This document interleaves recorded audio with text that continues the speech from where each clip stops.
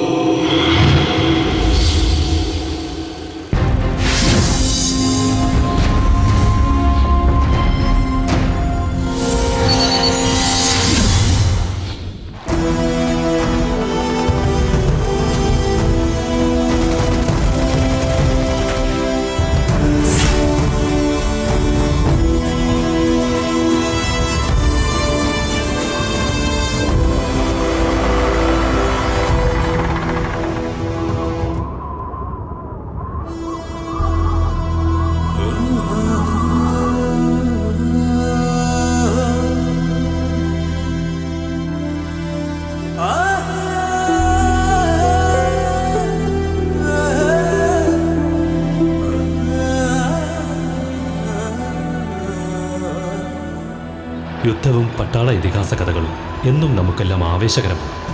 സ്വന്തം ജന്മനാടിനു വേണ്ടി പൊരുതി മരിക്കുന്ന ധീര രക്തസാക്ഷികൾ. പൊലിമയുള്ള വാക്കുകൾക്കപ്പുറത്ത് കണ്ണീര് നിറഞ്ഞ കഥകളുണ്ട് പറയാൻ ഓരോ പട്ടാളക്കാരനും. സ്വന്തം വീട് തങ്ങളെയും കാത്തിരിക്കുന്ന വീട്ടുകാർ തന്റെ ഗ്രാമം. തോക്കേന്തി നിൽക്കുന്ന പട്ടാളക്കാരന്റെ ഹൃദയത്തിൽ സ്വന്തം കുഞ്ഞിന്റെ മുഖം പുഞ്ചിരിക്കുന്നുണ്ടാവും. അതിന് രാജ്യമോ അതിർത്തിയോ ഇല്ല. അവരും മനുഷ്യരാണ്. ഇതൊരു പട്ടാള വീരകഥയല്ല. അവരുടെ ജീവിതമാണ്. നമുക്ക് വേണ്ടി കാവൽ നിൽക്കുന്ന ആ മനുഷ്യർക്ക് മനസ്സുകൊണ്ടൊരു സല്യൂട്ട് അർപ്പിക്കാം. ഒരു ബിഗ് സല്യൂട്ട്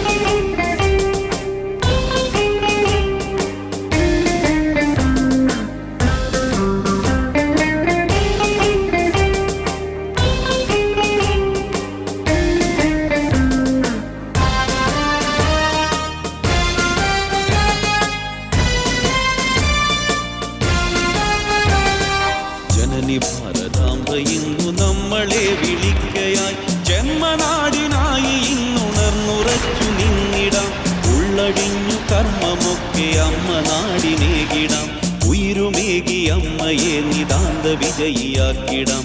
ജനനി ഭാരതാംബ ഇന്നു നമ്മളെ വിളിക്കയാൽ ജന്മനാടിനായി ഇന്നുണർന്നുറച്ചു നിന്നിടാം. ഉള്ളഴിഞ്ഞു കർമ്മമൊക്കെ അമ്മ നാടിനേകിടാം ഉയരുമേകി അമ്മയെ നിതാന്ത വിജയിയാക്കിടാം. ഹിന്ദുസ്ഥാൻ ഹിന്ദുസ്ഥാൻ ഹിന്ദുസ്ഥാൻ ജയ് ഹിന്ദുസ്ഥാൻ. ജഗമശേഷം ഒളിപരത്തി അതുല ശാന്തി എങ്ങുമേകി ജനമനസ്സിൽ അമൃതധാരയായ ജനനി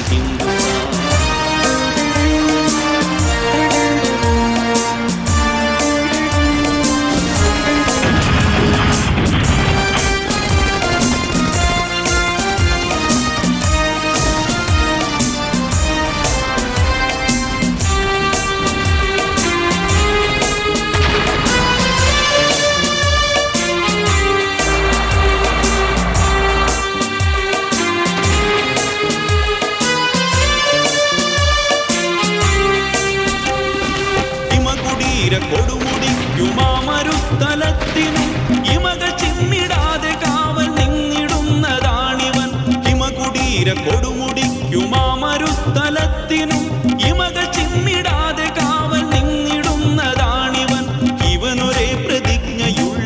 നിനക്കു സേവനം. നിനക്കു സേവനം. ഇടറുകില്ല പാദവും മനക്കരുത്തു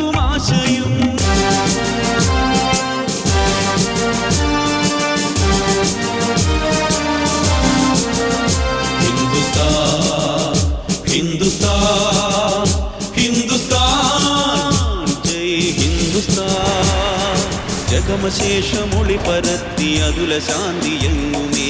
ജനമനസ്സിൽ അമൃതധാരയായ ജനനി ഹിന്ദുസ്ഥാൻ. നിത്യമരികളോടെ ദിത്തിവൻ മരിച്ചു വീഴിലും നീളുമഗ്നിച്ചിറകുമായി അങ്ങുയർത്തെണീറ്റിടും നിത്യമരികളോടെ ദിത്തിവൻ മരിച്ചു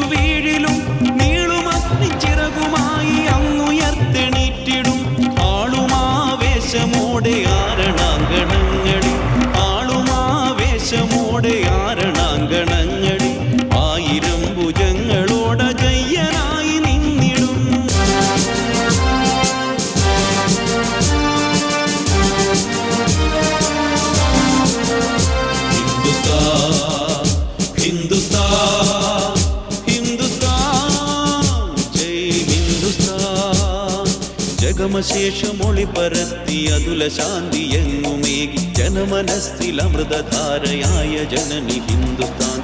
ജനനി ഭാരതാംബ ഇന്നു നമ്മളെ വിളിക്കയായി. ജന്മനാടിനായി ഇന്നുണർന്നുറച്ചു നിന്നിടാം. ഉള്ളഴിഞ്ഞു കർമ്മമൊക്കെ അമ്മ നാടിനേകിടാം ഉയരുമേകി അമ്മയെ നിതാന്ത വിജയിയാക്കിടാം. ഹിന്ദുസ്ഥാ ഹിന്ദുസ്ഥാൻ.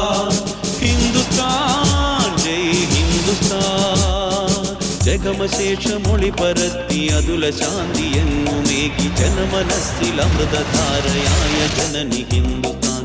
ഹിന്ദുസ്ഥാൻ ഹിന്ദുസ്ഥാൻ ഹിന്ദുസ്ഥാൻ ജയ് ഹിന്ദുസ്ഥാൻ ഹിന്ദുസ്ഥാൻ ഹിന്ദുസ്ഥാൻ.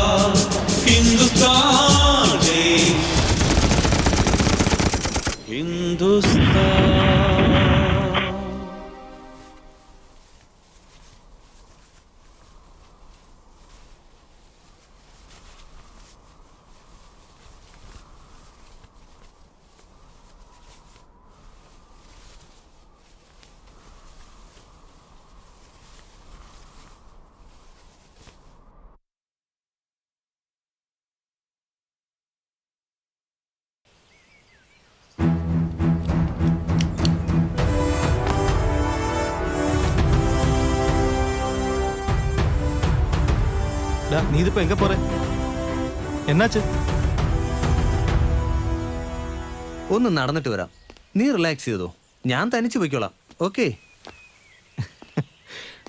போக முடியாது நீ என்னோட போய் சொல்லிட்டு எங்க போகிறதுடா சொல்றா ജീവ ഒരു തമിഴിനൊരു മലയാളിയെ അവിശ്വസിക്കാൻ പാടില്ല നമ്മൾ ഉയർക്കുരു ചേർന്നവരടാ டா நான் தமிழனும் நீ மலையாளியும் அல்லே இந்தியன் ஒன்று அப்படி சொல்றா அல்ல டா நீ போகிறது லவ் டெவலப் பண்றதுக்கு இல்லையா യെസ് കാതൽ ജീവ നീ കാതലിച്ചിരിക്കാ இருக்கு அஞ்சு வருஷம் എന്നിട്ട് ഇത്രയും നാൾ നീ എന്നോട് പറഞ്ഞില്ലല്ലോ பிரசாந்த் அதுக்கு ஒரு மேட்ரு இருக்கு ஒரு சின்ன மேட்ரு ലവ് ബ്രേക്ക് ആയിടുച്ചാ அதுக்கு சான்ஸே கிடையாது ഫോട്ടോ എടുക്കാ കാണിക്ക് டேய் அஞ்சு வருஷம் நான் காதலிச்சேன் அது எனக்கு மட்டும்தான் தெரியும் ஆனா அவளுக்கு தெரியாது എതിരാളികൾ சைடு വന്നാലും ഒറ്റയ്ക്ക് ഫൈറ്റ് ചെയ്യാനുള്ള ധൈര്യം ஃபைட் செய்யணுள்ள தைரியம் எனக்கு இருக்குடா ஆனா அந்த தைரியம் ആവിയായി പോകുന്നതാ കൈകാലുകൾ വിറച്ച്. ഒരു കാര്യം ചെയ്യാം. നമുക്ക് ഒരുമിച്ച് പോവാം. ഞാൻ പോകുന്ന സ്ഥലവും കാണിക്കാം. റെഡിയാ okay. Come on hurry up I'm ready വാടാ.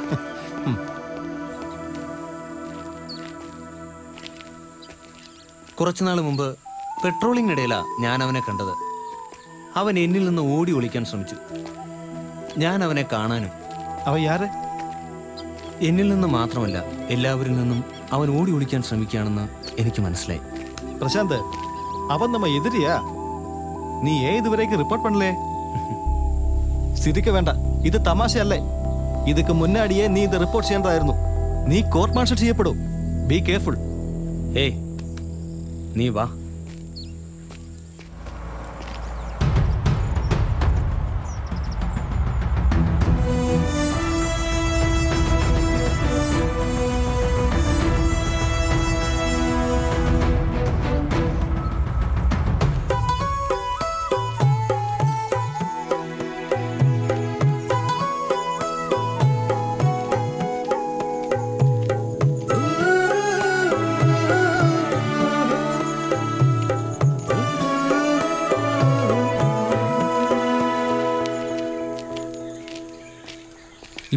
സൈനികനാ. കാശ്മീർ അതിർത്തിയിലായിരുന്നു. നേരി കാണുമ്പോൾ നിന്റെ മുഖത്ത് ഭയമോ വെറുപ്പോ വരരുത്. അത് അദ്ദേഹത്തെ തകർക്കും.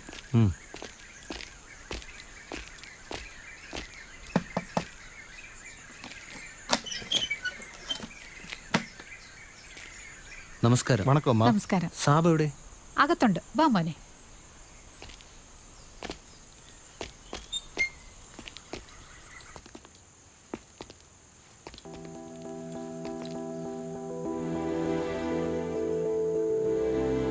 ഇതിന്റെ കൂട്ടുകാരനാ ജീവ. സാബ് ഇനിയെങ്കിലും വരണം ക്യാമ്പിലേക്ക്. ജീവ അതായിരുന്നു ഞാൻ. പുറത്തിറങ്ങിയ ജനങ്ങൾ എന്നെ വെറുപ്പോടെ നോക്കുന്നു. അത് കാണാൻ വയ്യ. ഞാൻ ഇവിടെ ഈ മുറി കഴിഞ്ഞോളാം. ചിലപ്പോ കുറച്ചുനാൾ കൂടിയേ ഞാൻ ജീവിക്കൂ. ഇങ്ങനെ നിരാശപ്പെടരുത്. സാബ് ഒരു സൈനികനാണ്. അത് മറക്കരുത്.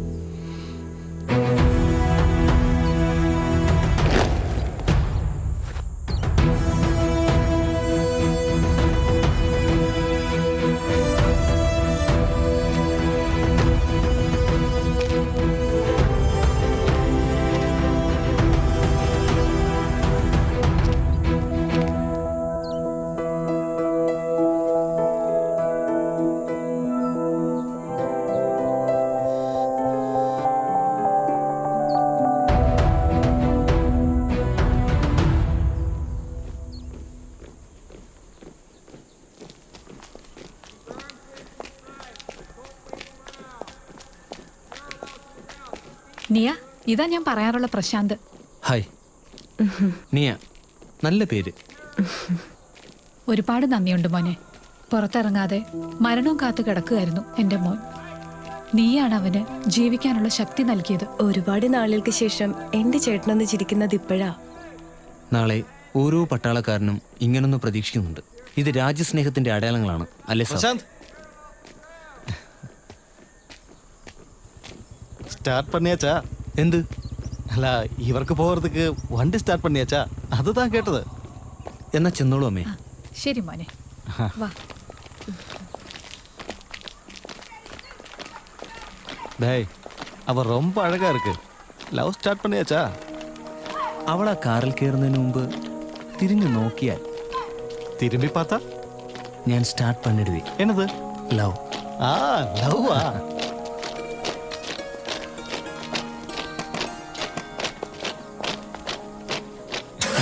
ഇപ്പൊ എല്ലാം മുടിച്ചല്ലേ ഇല്ല. അവൾ നോക്കിയിരുന്നെങ്കിൽ ലവ് സ്റ്റാർട്ട് പണിയാക്ക് ആനാ അവൾ നോക്കാതിരുന്നപ്പോ ലൈഫേ സ്റ്റാർട്ട് പണിയാച്ച്. ഡായ് ലൈഫാ ആമാ.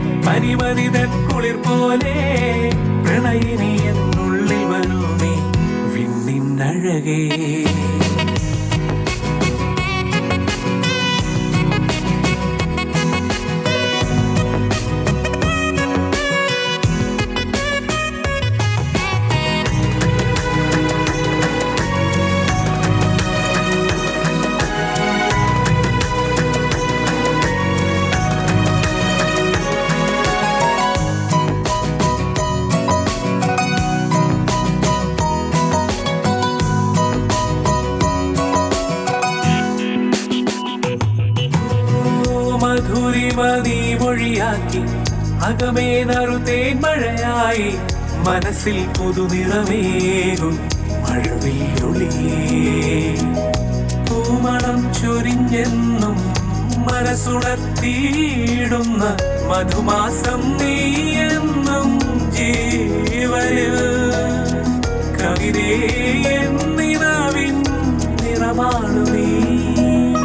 പനിനീർ പൂ പോലെ പനിമനിതൻ കുളിർ പോലെ പ്രണയിനി എന്നുള്ളിൽ വരൂ നീ പിന്നിന്നഴകേ ഹൃദയ വിപഞ്ചിക മീട്ടിയോ മഞ്ഞിൻ കണമായി പെയ്തുവോ പ്രണയിനി എന്നുള്ളിൽ വരൂ നീ അഴകിന്നഴകേ ദാ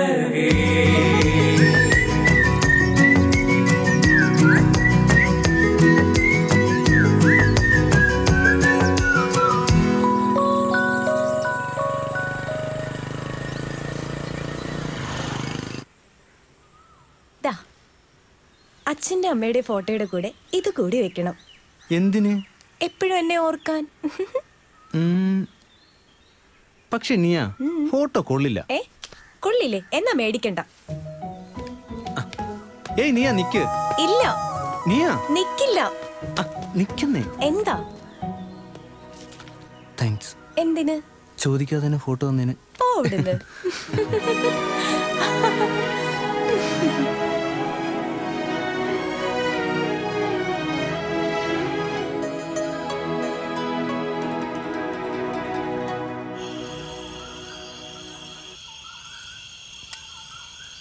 എടാ നീ പാടാൻ പോവാണ് एक पल का जीना फिर तो या, ये या, जाना या, या, तोहफा या, का या, लेके या, जाइए या, बिल्ली ये बताना अरे क्या कर रहे हो भाई? आए दे हम നല്ലൊരു खाली ദിവസമായിട്ട് हाथ ഇങ്ങനെ जाए। പാഴി കൊളവാക്കേ ഇന്നെന്താ പ്രത്യേകത ഇത് നമ്മൾ എന്നും സഹിക്കുന്നതല്ലേ ഡേ ഇന്ന് ജീവയുടെ ബർത്ത്ഡേ ആഹാ हाँ पैसा खर्चा हो गया ये सोच के नहीं बताया ना അല്ലടാ ഇതിലെന്നെ പുതുമേ ഇത് എല്ലാ വർഷവും വരുന്നതല്ലേ? അങ്ങനെ പറയരുത്. നമ്മളൊരു കുടുംബമല്ലേ? ഇതൊക്കെ ഒരു വിശേഷമല്ലേടാ? ഓക്കെ. സോറിടാ. Very very sorry. ഇന്നേക്ക് എന്നോട് birthday. Happy birthday Jeeva. Happy birthday happy birthday happy birthday thank യുടാ happy birthday to you happy birthday to you happy birthday to you. അപ്പോ ഇനി കേക്ക് മുറിക്കാം. ഇത് കേക്കാ? ആ ഇതൊക്കെ ഉള്ളൂ സെറ്റ് ഓക്കെ. കൊച്ചു പിടിക്കും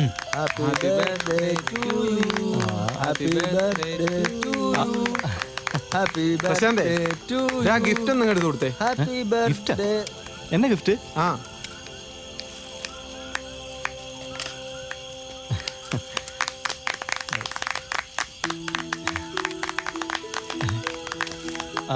തിരുടൻ അത് കാതൽ തിരുടൻ ആരോടും പറയാതെ മറച്ചു വെച്ചു അല്ലേ എടാ ജീവ കാതൽ മന്ന അവളെ ஞாபகம் வந்திருக்கா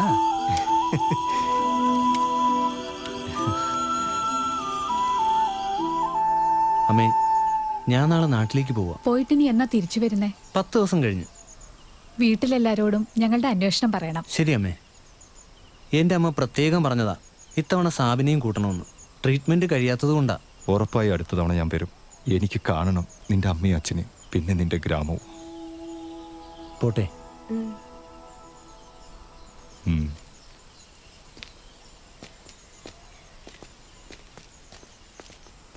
ഏ പ്രശാന്ത് ഒന്ന് നിക്ക്. നിക്കാൻ. നിക്ക്. വേഗം വരില്ലേ? വരാതിരിക്കാൻ കഴിയില്ലല്ലോ. അതെന്താ? എന്റെ ഹൃദയം ഇവിടെയല്ലേ? എന്നെക്കുറിച്ച് അമ്മയോട് പറയോ? പറയുക മാത്രമല്ല സമ്മതവും വാങ്ങും. എന്തിന്? നമ്മുടെ വിവാഹത്തിന്.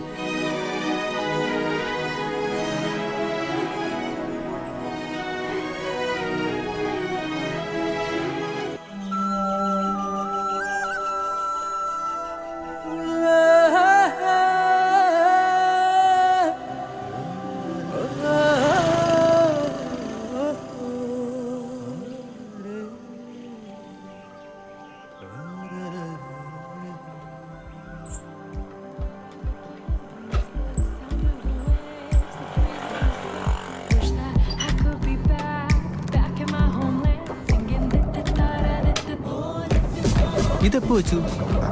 ബോക്സോ സെക്കൻഡ് ഹാൻഡ് കിട്ടിയപ്പോ വാങ്ങിയതാ. കൊള്ളാവോ? പിന്നെന്താ?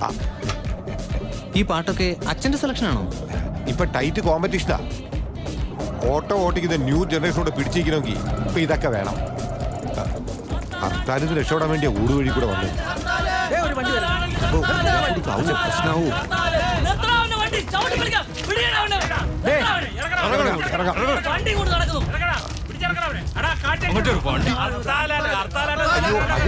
വാടകയ്ക്കുള്ള ഓട്ടോ അല്ല. ഇതെന്റെ മോനാ. പട്ടാളത്തിലാ. അവനെ കൂട്ടാൻ പോയതാ. പട്ടാളം അതിനും പോലീസായി ഞങ്ങൾക്ക് പുല്ല. വണ്ടിയുടെ കാര്യം എന്താ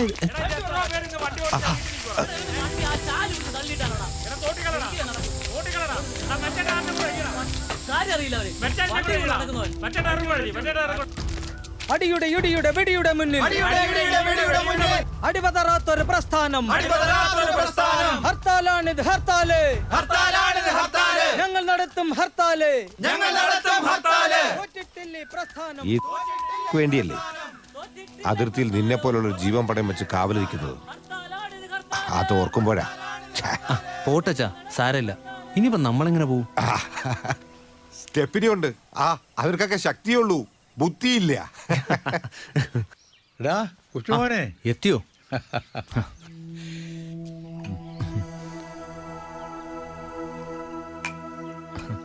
അപ്പൊ ഇന്ന് രാത്രി ആഘോഷമാണ് അല്ലേ മുത്തച്ഛ? നിനക്കും കിട്ടും മിലിറ്ററി കോട്ട. അത് പോട്ടെ. എന്തിനാ മുത്തച്ഛ രണ്ടു പുള്ളി വിൽക്കുന്നേ? അതുകൂടാൻ കഴിച്ചൂടെ? ഡാ ഈ ദിവസം എന്നേക്കാൾ കൂടുതൽ ഓർക്കുന്നവരാ ഈ നാട്ടുകാര്. ഞാനൊരു പട്ടാളക്കാരനാണെന്ന് അവരെങ്കിലും ഓർക്കട്ടെടാ. റിട്ടയർ ചെയ്ത് നാട്ടിൽ വരുന്ന പട്ടാളക്കാരന് ആരും ഒരു വിലയും നൽകില്ല. മഞ്ഞത്തും പൊരി വെയിലത്തും രാജ്യത്തിന് കാവൽ നിൽക്കുമ്പോൾ പട്ടാളക്കാരന് ആകാശത്തോളം ഉയരവും ഭൂമിയോളം വണ്ണവും ഉണ്ടെന്ന് തോന്നും. എന്നാൽ തിരികെ നാട്ടിൽ വന്നാൽ നമ്മെ ആളുകൾ വരും. വല്ല കടകൾക്കും കാവൽ നിൽക്കുമോ എന്ന് ചോദിക്കാൻ. ആ ചിലപ്പോ ഈ ചിന്തകൾ മറക്കാനാവും. റിട്ടയർഡ് ആയവർക്ക് സർക്കാർ കുപ്പി കൊടുക്കുന്നത്. ഏ അവിടെ പരിപാടി തുടങ്ങി. വൈകാൽ ഇപ്പൊ തുടങ്ങും അച്ഛന്റെ വീട് കഴിഞ്ഞു. ഒരു പാത്രം ഇങ്ങെടുക്ക് ഇതാ പാത്രം. അമ്മായി കഴിഞ്ഞില്ലേ? ആ ബീഫ് റെഡി നീ ഒന്ന് തിന്നു നോക്കിക്കേ. ചൂടാടാ. അമ്മായി കൊടുകൈ സൂപ്പർ. നാത്തൂനെ കണ്ട് പഠിക്കാൻ നോക്കും. പോടെ. ഇറക്ക നീ അങ്ങനെ ഞങ്ങളെ തമ്മിൽ തെറ്റിക്കാനൊന്നും നോക്കണ്ട. വേഗം ചെല്ല്. അല്ലേ മുത്തച്ഛന്റെ ക്ഷമ നശിക്കും. അതെ പോകുന്നതൊക്കെ കൊള്ളാം. അത് അവിടെ വെച്ചിട്ടിങ്ങി പോന്നേക്കണം. അവിടെ നിൽക്കണ്ട ഓ ഓ ഉത്തരവേ. ചെല്ല്. ഒരു നല്ല ദിവസം എന്തുവാടി ഇത്ര താമസം? എടാ മുകുന്ദ. എന്താ അച്ഛാ? നിന്നെ ഞാനല്ലടാ ഐശ്വര്യമായിട്ട് കുടിക്കാൻ പഠിപ്പിച്ച്? ആണല്ലോ. എന്നിട്ട് നീ അത് നിന്റെ മോനെ പഠിപ്പിച്ചില്ലല്ലോടാ? അത് കൊള്ളാം. അച്ഛ അച്ഛന്റെ മോനെ വടക്കാക്കിയതുപോലെ ഞാൻ എന്റെ മോനെ വടക്കാക്കാൻ പറ്റുമോ അവൻ എന്റെ തങ്കവാ തങ്കം. അങ്ങനെ പറയരുത്. ഇവിടെ ഇപ്പൊ അങ്ങനെ നിന്റെ ഇഷ്ടം മാത്രം നോക്കാൻ പറ്റില്ല. ഇന്നിവിടെ എന്തെങ്കിലും അവന്റെ കാര്യം ഞാൻ നോക്കിക്കോളാം. വേണ്ട വിട്ടേക്ക് പാവോ. വിടാൻ എന്റെ മോനെ വേണ്ടി വന്നാൽ ഞാൻ തല്ലും. അത് ചോദിക്കാൻ നീ ആരടാ? ഇപ്പൊ എന്റെ നേർക്കായോ? ആ അത് തന്നെ. ഡാ എന്റെ അച്ഛനെ ചിലപ്പോ എന്നെ തല്ലും കൊല്ലും. അത് ചോദിക്കാൻ നീ ആരടാ? ഞങ്ങൾ അച്ഛനും മോനും തമ്മിൽ പല പ്രശ്നങ്ങളും ഉണ്ടാവും. അത് നീ ഇങ്ങെടുക്ക്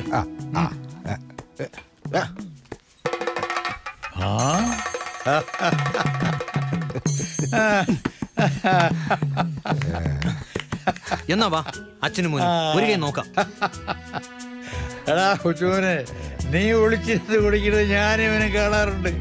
എന്നാ അത് നേരിട്ട് കാണാൻ വേണ്ടി ഞാനും അച്ഛനും കൂടെ ഒരുക്കിയ നാടകമാടാ ഇത്.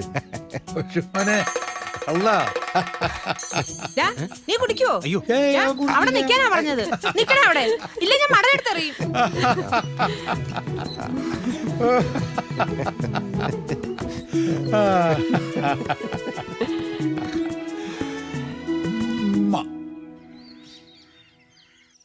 മോനെ പ്രശാന്തേ നിനക്ക് ഞാനൊരു പെണ്ണ് ആലോചിക്കുന്നുണ്ട്.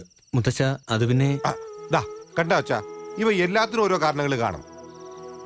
അച്ഛനും ഞാൻ ഇവന് പെണ്ണ് അന്വേഷിച്ചോണ്ടിരിക്കും. ഇവൻ പട്ടാളത്തിൽ വല്ല കാശ്മീരിൽ പോയിക്കൊണ്ടുവന്നാ നമ്മളെന്ത് ചെയ്യും? കൊണ്ടുവരൂടാ? മുത്തശ്ശ മുത്തശ്ശൻ എന്നെ അറിഞ്ഞൂടെ? ഓ. ഞാൻ അങ്ങനെ ചെയ്യൂ. ആ അത് ശരിയാ. മോൻ അങ്ങനെ ചെയ്യില്ല. ഇവൻ എന്റെ കൊച്ചുമോനല്ലേ അല്ലടാ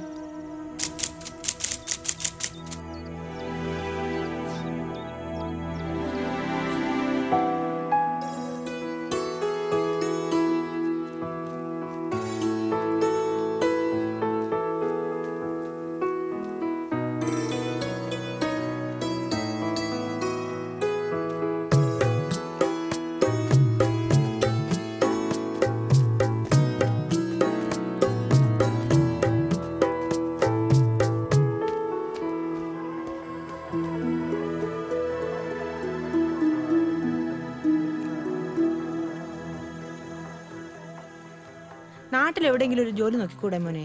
ഇത്രയും ദൂരം പോയിട്ട് അമ്മേ ഞാൻ ദൂരത്തേക്ക് പോകണോണ്ടൊന്നുമല്ല അമ്മയ്ക്ക് പേടിയായിട്ടല്ലേ? ഞാനെങ്ങാനും വെടിയും കൊണ്ട് ഒന്നും മിണ്ടാതിരിക്കുന്നുണ്ടോ നീ? എനിക്ക് പേടി തന്നെയാ. പത്രത്തിൽ അതിർത്തിയിൽ ഓരോ കാര്യങ്ങൾ വായിക്കുമ്പോൾ പേടിയാവും. അമ്മേ ആയിരക്കണക്കിന് അമ്മമാരുണ്ട്. ഇങ്ങനെ സ്വന്തം മക്കളെ ഓർത്ത് പേടിച്ചിരിക്കുന്നവർ. ഓരോ പട്ടാളക്കാരനും ഓരോ അമ്മമാരുടെ മക്കളല്ലേ? അവരൊക്കെ സ്വന്തം മക്കളെ തിരിച്ചു വിളിച്ചാൽ എന്തു ചെയ്യും? നീ വലിയ കാര്യമൊന്നും പറയണ്ട. എനിക്ക് എന്റെ മോൻ തന്നെയാ വലുത്. അമ്മ പേടിക്കണ്ട. എനിക്കൊന്നും സംഭവിക്കില്ല. അമ്മ വെറും ഒരു അമ്മയല്ല ഒരു പട്ടാളക്കാരന്റെ അമ്മയാണ്.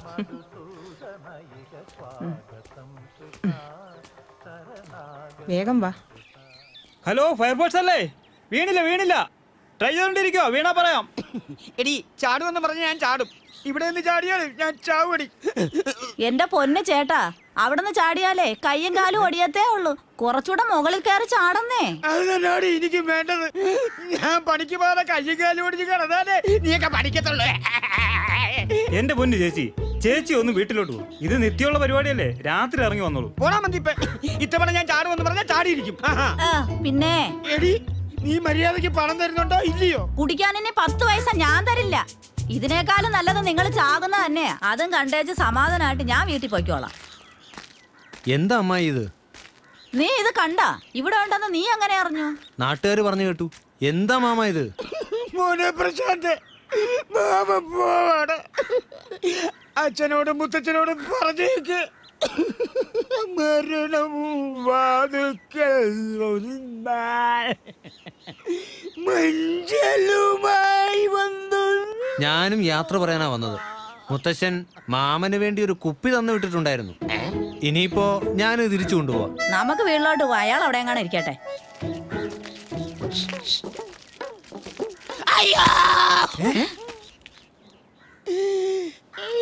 മോനെ മാമന് തന്നിട്ട് പോടാ കുപ്പി പാമ്പുകൾക്കും വിധിയാന്റെ ഒരു കാര്യം.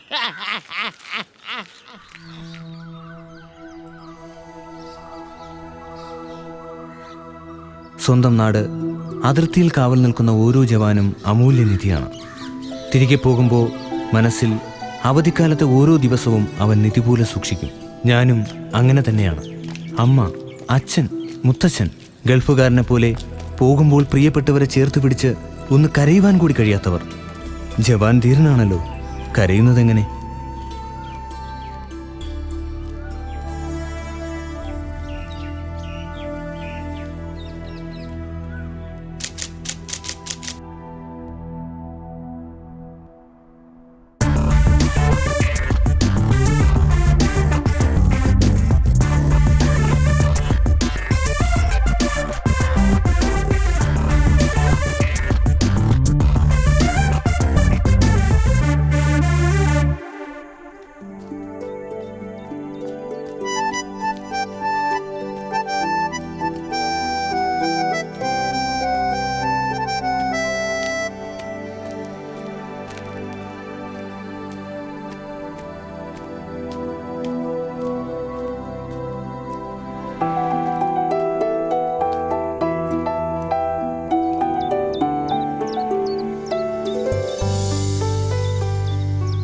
ശാന്തമായി ഒഴുകിയ ജീവിതം കുത്തിയൊലിച്ചൊഴുകാൻ തുടങ്ങിയത് എപ്പോഴാണ്?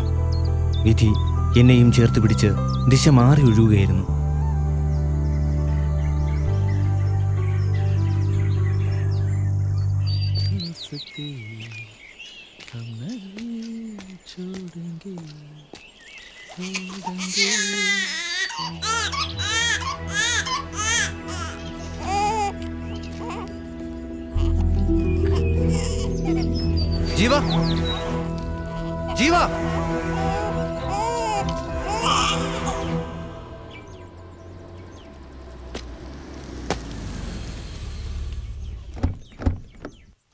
സാർ ജയ് ഹിന്ദ്. എല്ലാം റെഡിയാണല്ലോ? റെഡിയാണ് സാർ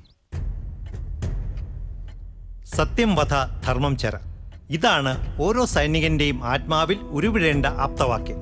നാം നിരന്തരം നമ്മുടെ അയൽ രാജ്യത്തിന്റെ ആക്രമണങ്ങൾക്ക് വിധേയരായിക്കൊണ്ടിരിക്കുന്നു. ശക്തമായ നമ്മുടെ പ്രതിരോധങ്ങളിൽ അവർ തകർന്നു പോവുകയും ചെയ്യുന്നുണ്ട്. യുദ്ധം അതിന്റെ ആസന്ന നിമിഷങ്ങളിലേക്ക് അടുക്കുകയാണ്. അപ്പോഴാണ് ഒരു രാജ്യത്തിന്റെ സുരക്ഷാബോധത്തെ മുഴുവൻ ഞെട്ടിച്ചുകൊണ്ട് നായിക് പ്രശാന്ത് ഒരു രാജ്യദ്രോഹിയാണെന്ന് ആരോപിക്കപ്പെടുന്നത്. നായിക് പ്രശാന്തിനെ കോർട്ട് മാർഷലിന് ഞാൻ വിധേയനാക്കുന്നു. നായിക് പ്രശാന്ത് ആരോപണം നിങ്ങൾ സമ്മതിക്കുന്നു. ഗിൽട്ടി ഓർ നോട്ട് ഗിൽട്ടി ഞാനത് നിഷേധിക്കുന്നു. Court of എൻക്വയറിയിൽ Indian army act section sixty three section sixty nine അനുസരിച്ച് നായിക് പ്രശാന്ത് കുറ്റക്കാരനാണെന്ന് തെളിയിക്കപ്പെട്ടതിനാൽ ഡിസ്ട്രിക്ട് കോർട്ട് മാർഷൽ ആരംഭിക്കുന്നു. ലഫ്റ്റനന്റ് കേണൽ രവികുമാർ താങ്കളാണ് government pleader തുടങ്ങിക്കോളൂ. Thank you sir. ദേശീയ ശ്രദ്ധ ആകർഷിച്ച പത്രങ്ങളും ചാനലുകളും റിപ്പോർട്ട് ചെയ്ത വലിയ ക്രൈം ഒറ്റുകാരൻ. സർ നായക് പ്രശാന്ത് ഒറ്റിയിരിക്കുന്നത് ഒരു വ്യക്തിയെയല്ല ഒരു രാജ്യത്തെയാണ്. മാപ്പർഹിക്കാത്ത കുറ്റം. ആദ്യ വിറ്റ്നസ് ഹൗൽദാർ ജവിയെ വിസ്തരിക്കാൻ അനുവദിക്കണമെന്ന് അപേക്ഷിക്കുന്നു. Proceed lieutenant colonel Ravikumar.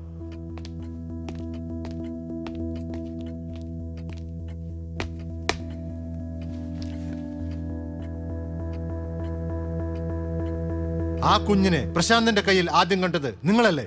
ആമാ സാബ്. അതൊരു ഡസ്റ്റ്ബിൻ ബേബിയാണെന്ന് പറയുന്നത് ശരിയാണോ? അത് എനിക്ക് തെരിയില്ല സാബ്. നിങ്ങൾ നായക് പ്രശാന്തന്റെ കയ്യിൽ കുഞ്ഞിനെ കാണുന്നത് ഡസ്റ്റ്ബിനിൽ നിന്നും കുഞ്ഞിനെ എടുക്കുമ്പോഴാണ് എന്ന് പറയുന്നത് ശരിയല്ലെന്നാണോ നിങ്ങൾ പറയുന്നത്? അന്നേ ദിവസം ഡസ്റ്റ്ബിൻ അങ്ങ് ഇല്ലായിരുന്നു സാബ്. ഞാൻ പാക്കുമ്പോൾ ഏതോ ഒരു പെണ്ണ് ഓടിപ്പോകരുതോ. പിന്നെ പാക്കുമ്പോൾ പ്രശാന്തിന്റെ കയ്യിൽ ആ കുളന്തയുമായിരുന്നു സാബ്.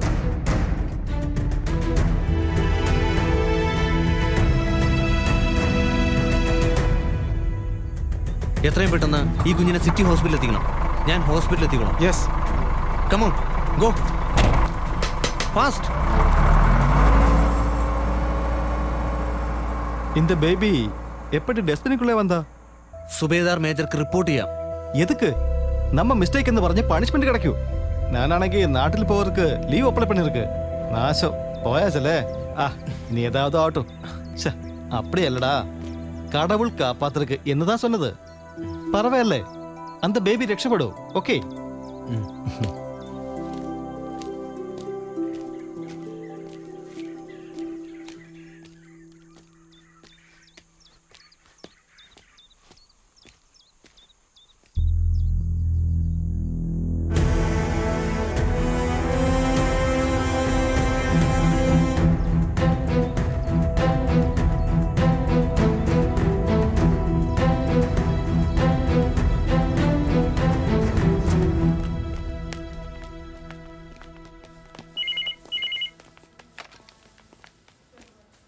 अभी जो एक बच्चे को लेके आए थे आप बच्चे को कोने भाई ഞാനൊരു നായക്കാണ് ഒരു ഡസ്റ്റ്ബിനിൽ നിന്ന് എനിക്ക് ആ കുഞ്ഞിനെ കിട്ടിയത് ഞാൻ ആ കുഞ്ഞിനെ ഇവിടേക്ക് കൊടുത്തയച്ചത് കുഞ്ഞ് അണ്ടർവെയിറ്റ് ആണ് എപ്പോൾ എന്തു വേണേലും സംഭവിക്കാം വെറുതെ റിസ്ക് എടുക്കാൻ നിൽക്കണം നമ്മുടെ അശ്രദ്ധ കൊണ്ട് ആ കുഞ്ഞിനൊന്നും സംഭവിക്കരുത് സർ പ്ലീസ് ഓക്കെ ട്രീറ്റ്മെന്റ് തുടങ്ങാം ബട്ട് വലിയ ക്യാഷ് ചെലവ് വരും തുടക്കത്തിൽ റിസപ്ഷനിൽ ഒരു ട്വന്റി ഫൈവ് തൗസൻഡ് അടച്ചോളൂ ഒന്നോർക്കണം അതിവിടെ ചെലവാകുന്നതിന്റെ ചെറിയൊരു ഭാഗം മാത്രമാണ് ഓക്കെ സുബദാർ മേജർ രാംദാസ് സാബ് താങ്കൾ എന്തിനാണ് നിയമലംഘിക്കാൻ കൂട്ടിനിന്നത്? നായക് പ്രശാന്തിന്റെ ഒരു നുണക്കഥയിൽ വീണുപോകാൻ മാത്രം ദുർബല മനസ്സുള്ള ഒരാളാണോ എസ് എം സാബ്? പറയൂ എന്തിനാണ് കുഞ്ഞിനെ മിലിറ്ററി ഹോസ്പിറ്റലിൽ അഡ്മിറ്റ് ചെയ്തത്? അത് നായിക് പ്രശാന്ത് പറഞ്ഞത് അതൊരു സൈനികന്റെ സിസ്റ്ററുടെ കുഞ്ഞാണെന്നാണ്. ജീവൻ രക്ഷിക്കുക എന്നുള്ളതാണല്ലോ ഒരു പട്ടാളക്കാരന്റെ ധർമ്മം. പക്ഷേ പിന്നീടാണ് മനസ്സിലായത് നായിക് പ്രശാന്ത് എന്നെ തെറ്റിദ്ധരിപ്പിക്കുകയായിരുന്നെന്ന്.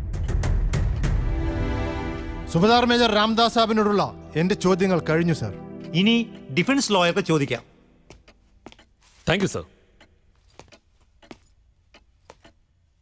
S M sahab താങ്കൾ എന്തിനാണ് ഇങ്ങനെ വിയർക്കുന്നത്? നോ സാബ് ഞാൻ വിയർക്കുന്ന ആര് പറഞ്ഞു. ഓക്കെ എപ്പോ സത്യം ലംഘിക്കപ്പെടുന്നുവോ? അതിനെയാണ് അസത്യമെന്ന് പറയുന്നത്. താങ്കൾ പറഞ്ഞുവല്ലോ ജീവൻ രക്ഷിക്കുക എന്ന് പറയുന്നത് ഒരു സൈനികന്റെ ധർമ്മമാണെന്ന്. ആ ധർമ്മം നിറവേറ്റുന്നതിന് വേണ്ടി പറയുന്ന ഒരു കാര്യം അസത്യമായാലും അത് ന്യായീകരിക്കപ്പെടും.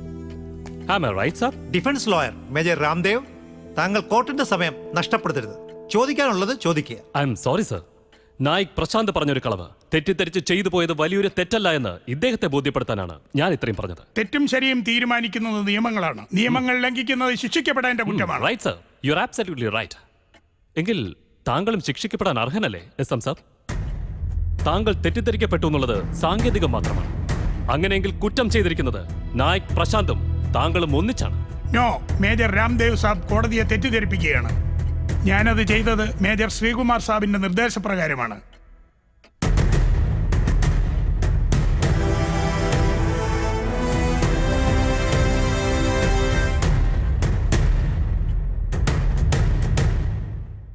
സാബ് നായിക് പ്രശാന്തിന്റെ ഇൻഫർമേഷൻ ആണ് അണ്ടർ വെയിറ്റ് ആയ ഒരു കുഞ്ഞിനെ മിലിറ്ററി ഹോസ്പിറ്റലിൽ അഡ്മിറ്റ് ചെയ്യാനാണ്. ആ കുഞ്ഞ് ഒരു സൈനികന്റെ സിസ്റ്ററുടേതാണ് സാബ്. ഷുവർ എത്രയും പെട്ടെന്ന് ആ കുട്ടിയെ ഹോസ്പിറ്റലിൽ എത്തിക്കും. ഞാൻ ഡ്യൂട്ടി ഡോക്ടറെ വിളിക്കാം.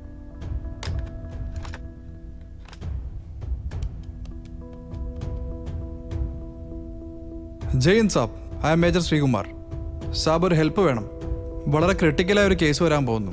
ഒരു ചെറിയ കുഞ്ഞാണ്. യെസ് ഞാൻ ചെയ്യാം. But M H commander brigadier Chauhan സാബിന് permission കിട്ടിയാൽ നോ പ്രോബ്ലം ഞാൻ സാബിനെ വിളിച്ച് പറയാം.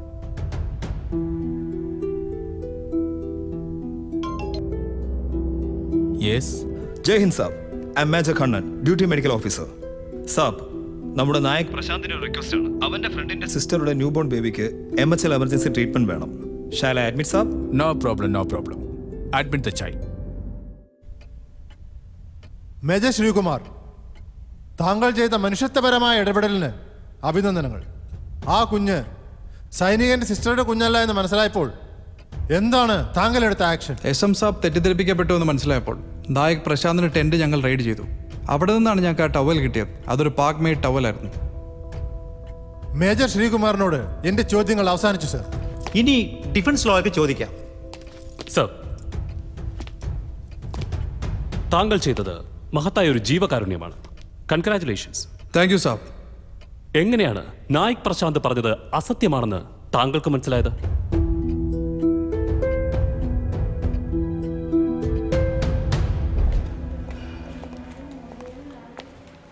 കുഞ്ഞിന്റെ അമ്മയല്ലേ? കുഞ്ഞ് വല്ലാതെ കരയുന്നുണ്ട്.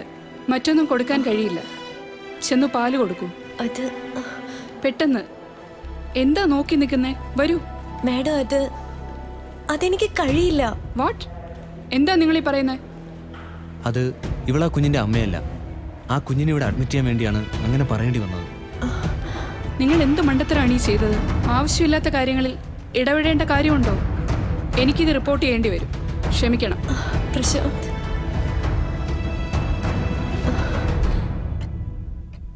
സിസ്റ്ററാണ് അത് റിപ്പോർട്ട് ചെയ്തത്. ഗുഡ്. താങ്കൾ അപ്പൊ തന്നെ പോയി റെയ്ഡ് ചെയ്തു അല്ലേ? അതെ. മേജർ ശ്രീകുമാർ എന്നു മുതലാണ് അസത്യം പറയാൻ തുടങ്ങിയത്. വാട്ട്? ഞാൻ ചോദിച്ച ചോദ്യം ഒന്നുകൂടി ചോദിക്കാം. I repeat. സിസ്റ്റർ അത് റിപ്പോർട്ട് ചെയ്ത ഉടനെ താങ്കൾ റെയ്ഡ് ചെയ്തോ? ഉടനെ എന്ന് പറഞ്ഞാൽ പറഞ്ഞാൽ?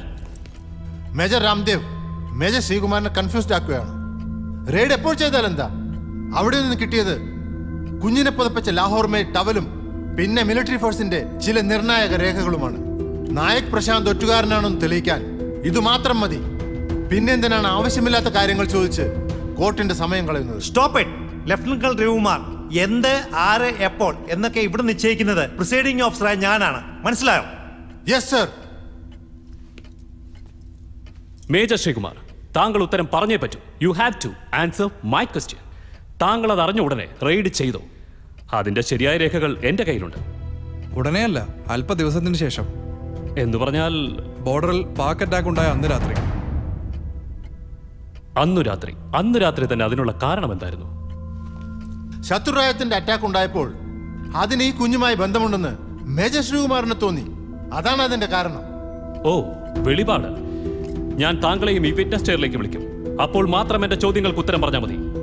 ഇപ്പോൾ എന്റെ ചോദ്യം മേജർ ശ്രീകുമാറിനോടാണ്. അന്ന് നമ്മുടെ സൈനികർക്ക് വെടിയേറ്റ ദിവസം ആ രാത്രി മറ്റൊന്നുകൂടി സംഭവിച്ചു. അതെന്താണെന്നാണ് ഞാൻ ചോദിച്ചത്. ഓർമ്മ വരുന്നില്ലല്ലേ? ഇല്ലെങ്കിൽ ദാ നായിക് പ്രശാന്ത് ഓർമ്മപ്പെടുത്തും. പറയൂ അന്ന് എന്താണ് സംഭവിച്ചത്?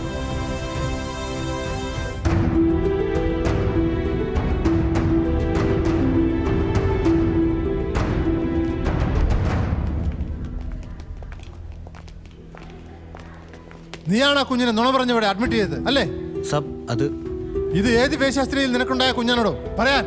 സബ് ആ കുഞ്ഞിന്റെ ജീവൻ രക്ഷിക്കാനേ ഞാൻ ശ്രമിച്ചുള്ളൂ അതിനു വേണ്ടിയാ. സ്റ്റോപ്പ് ഇറ്റ് നീ വീണ്ടും നുണ പറയുന്നു.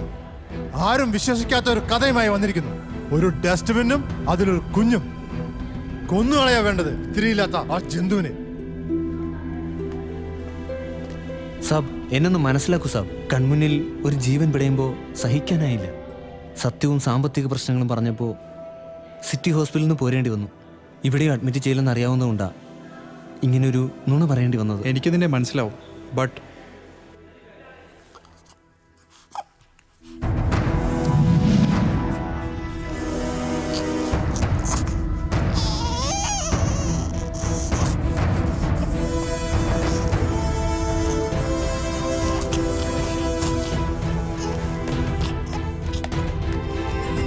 വേണ്ട സാർ സാബ്.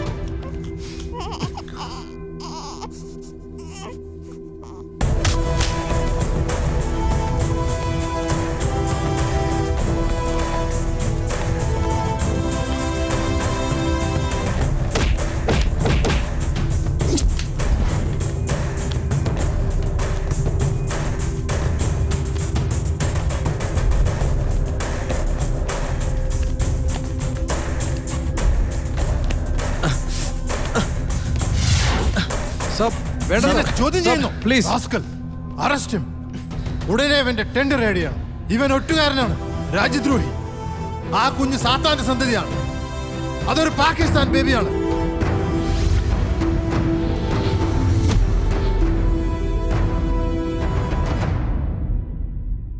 ഞാൻ രാജ്യദ്രോഹിയല്ല. എന്റെ മുത്തശ്ശൻ ഒരു പഴയ പട്ടാളക്കാരനായിരുന്നു. അദ്ദേഹം പറഞ്ഞ പട്ടാള കഥകളാണ് കുഞ്ഞായിരിക്കുമ്പോൾ എന്റെ ഉള്ളിലും ഒരു പട്ടാളക്കാരനാകണമെന്ന ആഗ്രഹം ഉണ്ടാക്കിയത്. സബ് ഞങ്ങൾ ഗ്രാമീണർക്ക് സ്നേഹിക്കാനേ അറിയൂ. ജന്മനാടിനെ അമ്മയെപ്പോലെ കാണുന്നവരാണ് ഞങ്ങൾ. എന്നെ കൊന്നോളൂ. പക്ഷേ ഒരിക്കലും ഒരു രാജ്യദ്രോഹിയാണെന്ന് മാത്രം പറയരുത്.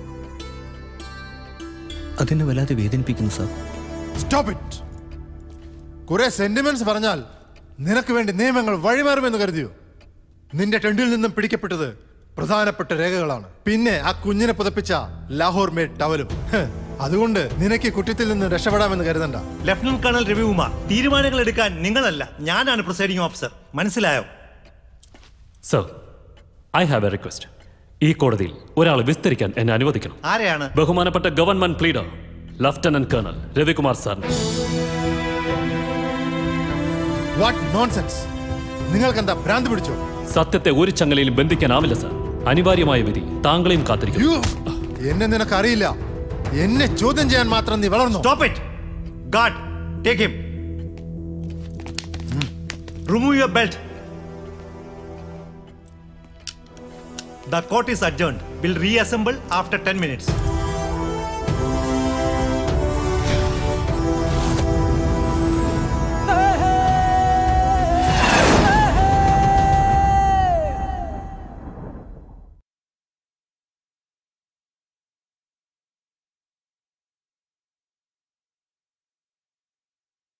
നന്നായി ബാറ്റ് ചെയ്യുമ്പോൾ റൺഔട്ട് ആകേണ്ടി വരുന്നത് എന്തൊരു കഷ്ടമാണ്. നിങ്ങളുടെ സ്വന്തം തെറ്റുകൊണ്ടോ പങ്കാളിയുടെ പിഴവ് കൊണ്ടോ ആകാം ഇത് സംഭവിക്കുക.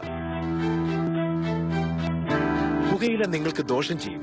നിങ്ങൾ വലിക്കുമ്പോൾ നിങ്ങൾക്ക് ചുറ്റുമുള്ളവരും പുകഞ്ഞു തീരുന്നു. സ്മാർട്ട് ആവൂ പുകയിലെ അകറ്റി നിർത്തൂ. റൺഔട്ട് ആകാതിരിക്കൂ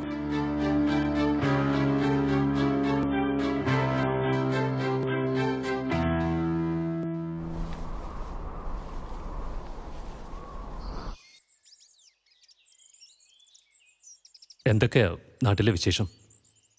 നാട്ടിലെ പത്രങ്ങളും ചാനലുകളും എന്നെ രാജ്യദ്രോഹിയെ ചിത്രീകരിച്ചു കഴിഞ്ഞു. എനിക്കിനി തിരികെ പോകാൻ കഴിയില്ല. ജയ് ഹിന്ദ് സാബ്. എന്റെ അച്ഛനൊരു ഓട്ടോ ഡ്രൈവറാണ്. ഒരു പാവം. ആ ഓട്ടോ ഒരു നാട്ടുകാർ തകർത്തു. അപമാനഭാരത്താൽ പുറത്തിറങ്ങാൻ പോലും കഴിയാതെ എന്റെ വീട്ടുകാർ ഏയ് കമോൺ കൂൾ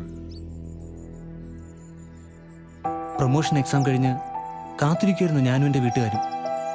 എല്ലാം തകർന്നില്ലേ? ഇനി സത്യം പുറത്തു വന്നാലും എത്ര പേരെ എനിക്ക് വിശ്വസിപ്പിക്കാൻ കഴിയും? ഞാനൊരു രാജ്യദ്രോഹിയല്ലെന്ന്. എപ്പോഴെങ്കിലും തോന്നിയിട്ടുണ്ടോ? ആരുമല്ലാത്ത കുഞ്ഞിന്റെ കാര്യത്തിൽ ഇടപെടണ്ടായിരുന്നു ഒന്നും വേണ്ടായിരുന്നു നോ സാബ് ഞാൻ ഒരു സോൾജിയറാണ്. ധർമ്മം ജയിക്കാൻ ഞാൻ മരണം വരെ പ്രയത്നിക്കും. ജയ് ഹിന്ദ് സാബ്. ജയ് ഹിന്ദ്.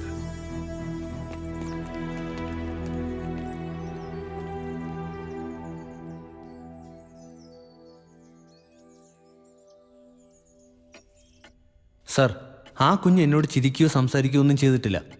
അതിനുള്ള പ്രായവും ആ കുഞ്ഞിനായിട്ടില്ല. എങ്കിലും തെരുവിൽ എവിടെയെങ്കിലും ഉപേക്ഷിക്കാൻ മനസ്സ് വന്നില്ല. എല്ലാം നഷ്ടപ്പെട്ട് പ്രതിക്കൂട്ടി നിൽക്കുമ്പോഴും എനിക്ക് അല്പം പോലും കുറ്റബോധമില്ല. ഞാൻ ചെയ്തത് വലിയൊരു ശരിയാണെന്ന് ഞാൻ വിശ്വസിക്കുന്നു. നായിക് പ്രശാന്ത് അതീവ ഗൗരവമായ കാര്യം ആ കുഞ്ഞും അതിന്റെ മാതൃരാജ്യവുമാണ്. അതുകൂടാതെ നിന്നിൽ നിന്ന് പിടിച്ചെടുത്ത രേഖകളും. സർ ഈ ഉള്ളം കേട് വലുപ്പമുള്ള ആ ചോരക്കുഞ്ഞിന് എങ്ങനെ അറിയാം? തന്റെ ജന്മനാടിന്റെ അതിർത്തിയെക്കുറിച്ച്. സ്റ്റോപ്പ് ഇറ്റ് നായിക് പ്രശാന്ത് എന്ത് വിവരക്കേടാണ് ഈ പറയുന്നത്? നോ അവൻ പറഞ്ഞ ശരിയാണ്. യു പ്രൊസീഡ്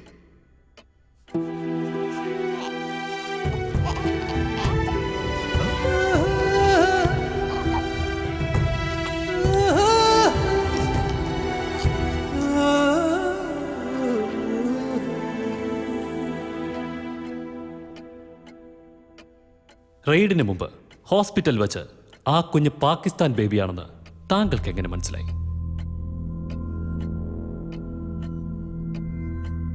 ചോദ്യങ്ങൾക്കെല്ലാം കൃത്യമായ മറുപടി തന്നേ പറ്റൂ. Lieutenant colonel Ravikumar? അന്ന് രാത്രിയിലെ പാക് ആക്രമണത്തിനു ശേഷം എനിക്ക് അങ്ങനെ ഒരു തോന്നലുണ്ടായി. ആ തോന്നലിൽ താങ്കൾ ആ കുഞ്ഞിനെ കൊല്ലാൻ ശ്രമിച്ചു. ഒരു ജവാന്റെ ടെന്റ് റെയ്ഡ് ചെയ്യാനുള്ള തോന്നലും പെട്ടെന്നുണ്ടായതാണോ ലഫ്റ്റനന്റ് കേണൽ രവികുമാർ സർ? അതും റെയ്ഡിന് വേണ്ട മാനദണ്ഡങ്ങൾ പാലിക്കാതെ? ഞാനൊരു സീനിയർ ഓഫീസറാണ്. ചില നിഗമനങ്ങളും തീരുമാനങ്ങളും പ്രത്യേക അവസ്ഥകളിൽ എടുക്കേണ്ടി വരാറുണ്ട്. ഇതും അതുമാത്രമാണ് ഓക്കെ. നായിക് പ്രശാന്തിന് ആർമിയിലല്ലാതെ വേറെ ഏറ്റവും അടുത്ത കൂട്ടുകാരനാരാ? എനിക്കങ്ങനെ എനിക്കങ്ങനെ? പറയൂ. സത്യം മാത്രം. ഇത് കോടതിയാണ്. വികാസ്. മുഴുവൻ പേര് പറയും. അത് വികാസ് രവികുമാർ. റൈറ്റ് വികാസ് രവികുമാർ. അതായത് ഈ ഇരിക്കുന്ന ലഫ്റ്റനന്റ് കേണൽ രവികുമാർ സാറിന്റെ ഏക മകൻ. നിങ്ങൾ എന്തിനാണ് ഒന്നും അറിയാത്ത എന്റെ മകന്റെ പേര് ഇവിടേക്ക് വലിച്ചഴിക്കുന്നത്? You are crossing the limit ഈ ഇരിക്കുന്ന നായിക് പ്രശാന്ത് താങ്കളെ പ്രൊട്ടക്ട് ചെയ്യുന്നു എന്നുള്ളത് താങ്കൾ മനസ്സിലാക്കുന്നുണ്ട്. അതിനൊരു കാരണമുണ്ട് സർ ഒരു മാസം മുമ്പ് വരെ ലഫ്റ്റനന്റ് കേണൽ രവികുമാർ സാറിന്റെ ഏറ്റവും ഇഷ്ടപ്പെട്ട വ്യക്തിയായിരുന്നു നായിക് പ്രശാന്ത്. താങ്കളുടെ ബഡ്ഡി പലപ്പോഴും താങ്കൾ എന്നോട് പോലും സംസാരിച്ചിട്ടുണ്ട്. ഭാവിയുള്ള ഒരു ചെറുപ്പക്കാരനാണ് ഈ ഇരിക്കുന്ന നായിക് പ്രശാന്ത് എന്ന്.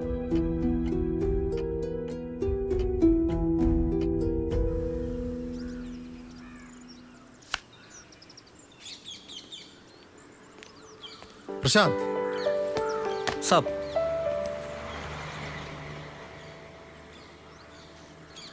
എന്താ സാബ്? എന്താ നിന്റെ പോക്കറ്റിൽ? ഒന്നുമില്ല സാബ്. അമ്മയുടെ ഫോട്ടോ. അമ്മയുടെ ഫോട്ടോ? നോക്കട്ടെ. അത് ഇപ്പൊ തന്നെ കാണണോ? എന്താ കണ്ടല്ലേ? എടുക്കടോ.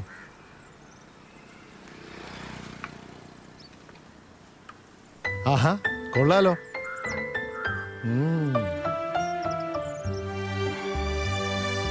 ആ ഇത് എന്റെ കയ്യിലിരിക്കട്ടെ.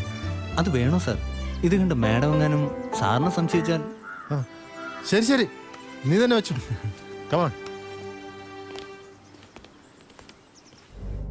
എപ്പോഴും ജോലിയിൽ ശ്രദ്ധിക്കണം. എങ്കിലേ ഉയർച്ചയുണ്ടാവൂ നിനക്ക് നല്ലൊരു ഫ്യൂച്ചർ ഞാൻ കാണുന്നുണ്ട്. എല്ലാ ചെറുപ്പക്കാർക്കും നിന്റെ പ്രായത്തിലൊരു ചിന്തയുണ്ട്. ഈ പ്രായത്തിലെ പ്രേമിച്ച് നടക്കാൻ പറ്റൂ എന്ന്. ബട്ട് ചെറുപ്പം ഒരുപാട് ഉയരങ്ങൾ കീഴടക്കുവാൻ നമുക്ക് ലഭിച്ച ഏറ്റവും അമൂല്യമായ സമയമാണ്. മനസ്സിലാവുന്നുണ്ടോ പ്രശാന്ത്? ചെറുപ്പം ശരിയായി ഉപയോഗിച്ചാൽ തീർച്ചയായും ലൈഫിൽ വിൻ ചെയ്യാം. ഒരു തിരിച്ചറിവ് ഉണ്ടാവണം എപ്പോഴും. പ്രണയം എന്നത് വിവാഹത്തിലേക്കുള്ള പല വഴികളിൽ ഒന്ന് മാത്രമാണ്. പിന്നെ എപ്പോഴാണ് നായിക് പ്രശാന്ത് ലഫ്റ്റനന്റ് കേണൽ രവികുമാറിന്റെ ശത്രുവായി മാറിയത്? ശത്രു ലഫ്റ്റനന്റ് കേണലിന് കേവലം ഒരു നായക് ശത്രു നിങ്ങൾ പറയുന്ന കേട്ടാൽ തോന്നും എന്നെ വിചാരണയെ ശിക്ഷിക്കുവാനാണ് ഇന്നത്തെ കോർട്ട് മാർഷൽ എന്ന്. വാചക കസർത്ത് കൊണ്ട് കുറച്ചു നേരം അതിന് കഴിഞ്ഞേക്കാം. ബട്ട് തെളിവുകൾ കള്ളം പറയില്ല. അയാൾ കള്ളം പറഞ്ഞു എന്ന് അയാൾ തന്നെ സമ്മതിക്കുന്നു. എന്നെ ഹറാസ് ചെയ്തുകൊണ്ട് അത് തിരുത്താനാവില്ലല്ലോ. മേജർ രാംദേവ് നായിക് പ്രശാന്ത് നുണ പറഞ്ഞില്ല എന്ന് ഞാൻ പറഞ്ഞിട്ടില്ല. സത്യസന്ധത എന്ന ഉന്നതമായ ബോധം ലംഘിച്ചതിന് നായിക് പ്രശാന്ത് ശിക്ഷിക്കപ്പെടുക തന്നെ വേണം. പക്ഷെ അതിനുള്ള കാരണം അതിലേക്കുള്ള എന്റെ അന്വേഷണം മറ്റൊന്നുകൂടി തെളിയിക്കാനാണ് സർ. നായിക് പ്രശാന്ത് കുറ്റവാളി അല്ല എന്ന് തെളിയിക്കാൻ യഥാർത്ഥ പ്രതിയെ കാണിച്ചു തരിക എന്ന സത്യം. യഥാർത്ഥ പ്രതിയോ? എന്നാണ് മേജർ രാംദേവ് നിങ്ങൾ പറയുന്നത്? പുകമറയ്ക്കുള്ളിൽ ഒളിഞ്ഞിരിക്കുന്ന ഒരു വില്ലൻ. ഈ കേസിലുമുണ്ട് സർ. സർ നായിക് പ്രശാന്തിനൊരു അർജന്റ് മെസ്സേജ് ഉണ്ട്. ഓക്കെ കൊണ്ടുവരൂ.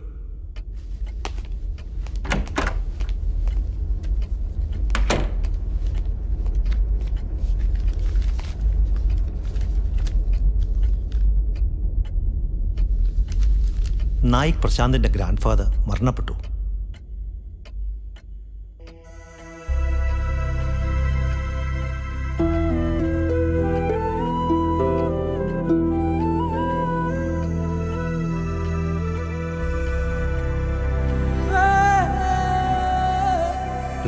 കൊച്ചുമോനെ.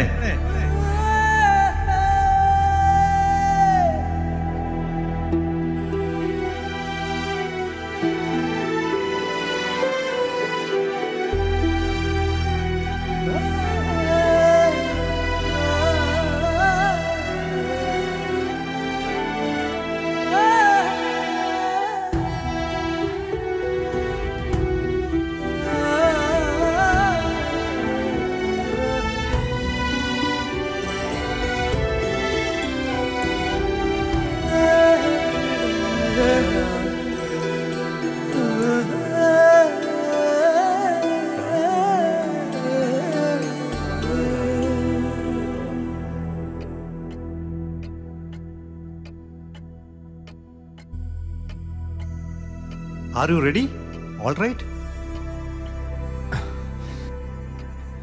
ready sir defence lawyer major Ramdev താങ്കൾക്ക് തുടരാം. Sir lieutenant colonel Ravikumar sir താങ്കളെപ്പോലെ Britain ബാക്കി വെച്ച ഉദ്യോഗസ്ഥരാജ് കരുണയില്ലാതെ നടപ്പിലാക്കുന്ന ഓഫീസേഴ്സിന് ഒരു ജവാന്റെ കണ്ണുനീർ വെറും തമാശ മാത്രമാകാം. പക്ഷേ താങ്കൾ ഉയർത്തിവിട്ട ആരോപണം മീഡിയ ഏറ്റെടുത്തപ്പോൾ നഷ്ടമായത് ഒരു കുടുംബത്തിന്റെ സമാധാനമാണ് ഒരു നാടിന്റെ വിശ്വാസമാണ്. നിങ്ങൾ എന്താ ഹേ പറയുന്നത്? ഞാൻ നിയമം നടപ്പിലാക്കണോ? അതോ ചീപ്പ് സെന്റിമെന്റ്സിന്റെ പുറകെ പോണോ? ചീഫ് സെന്റിമെന്റ്സ് എന്ന വാക്കിൽ താങ്കൾ നിസ്സാരമായി തള്ളിക്കളഞ്ഞത്. ദാ ഈ ഇരിക്കുന്ന നായിക് പ്രശാന്തിന്റെ ജീവിത സ്വപ്നങ്ങളാണ്. നേട്ടങ്ങളെക്കുറിച്ച് അഭിമാനിക്കുന്നവർ നഷ്ടങ്ങളെക്കുറിച്ച് കൂടി മനസ്സിലാക്കണം സർ. നായിക് പ്രശാന്ത് നഷ്ടങ്ങളുടെ കണക്കെടുപ്പിനല്ല നേട്ടങ്ങളുടെ പൊയ്മുഖങ്ങൾ അഴിച്ചു മാറ്റുവാൻ വേണ്ടി പറയൂ. പിന്നീട് എന്താണ് അവിടെ സംഭവിച്ചത്? നിങ്ങളുടെ ഈ ബന്ധം തുടരാൻ ഞാൻ ആഗ്രഹിക്കുന്നില്ല. ഇപ്പൊ തന്നെ നാട്ടുകാരും വീട്ടുകാരും ഞങ്ങളെ കുറ്റപ്പെടുത്തുകയാണ്. പെൺമക്കൾ എന്നും മാതാപിതാക്കളുടെ മനസ്സിലൊരു ആധിയാണ്. ഇപ്പൊ തന്നെ രണ്ടു തവണ പോലീസുകാർ ഇവളെ കൊണ്ടുപോയി. നീ ഇനി ഇവിടെ വരികയോ ഇവളെ കാണുകയോ ചെയ്യരുത്. അച്ഛനില്ലാത്ത ഈ മക്കളെ ഒരുപാട് കഷ്ടപ്പെട്ടാ ഞാൻ വളർത്തിയത്. ദേവിയത് നീ ഇവളെ മറക്കണം.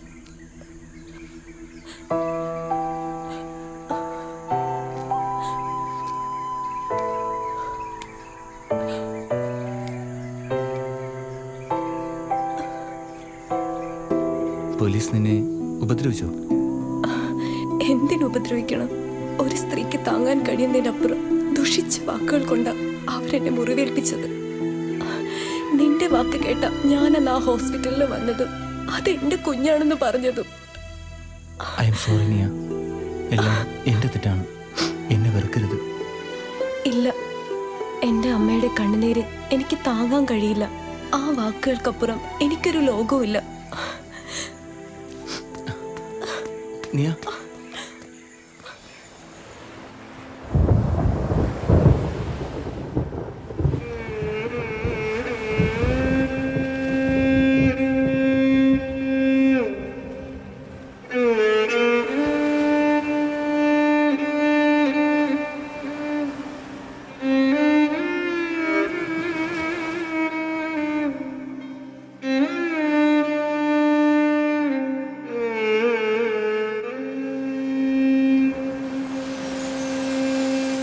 ഒരു പകൽ മെല്ലെ എരിഞ്ഞു തീരുന്നു.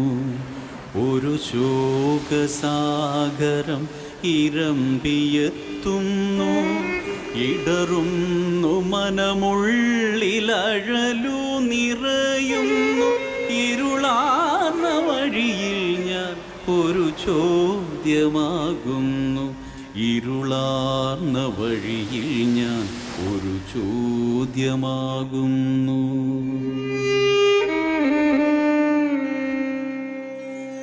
ഒരു നിഴലു പോലുമൻ തുണയായില്ലിനി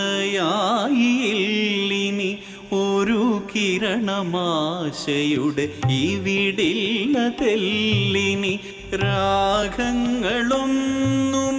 വീണ പടില്ലിനി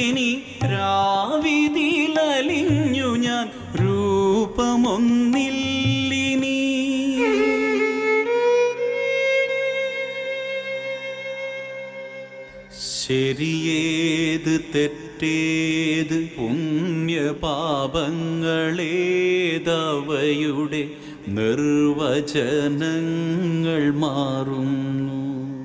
കാളിമ ഉടലാർന്ന കരിനായ്ക്കളിന്നെന്റെ കരളിലെ നന്മകൾ കടിച്ചു കീറുന്നു. കരയുവാൻ പോലുമി കണ്ണില ശ്രുക്കളിലിനി മുഖമുരുകുന്ന മരുഭൂമിയാണു ഞാൻ. കരയുവാൻ പോലുമി കണ്ണില ശ്രുക്കളിലിനി മുഖമുരുകുന്ന മരുഭൂമിയാണു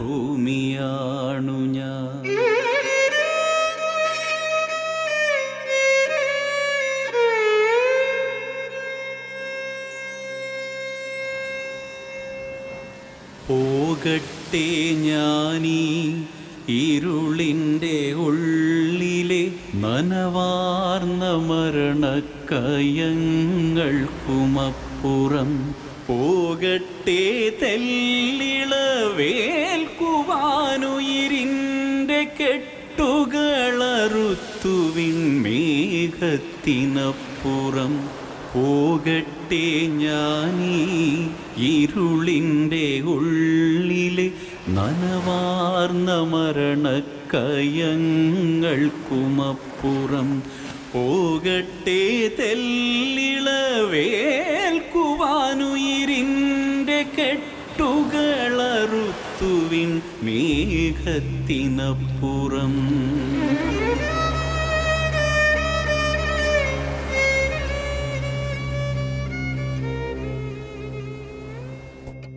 ലഫ്റ്റനന്റ് കേണൽ രവികുമാർ സർ മകൻ വികാസിനെ കുറിച്ച് എന്താണ് അഭിപ്രായം? അവൻ വളരെ ബുദ്ധിമാനായ ഒരു ചെറുപ്പക്കാരനാണ്.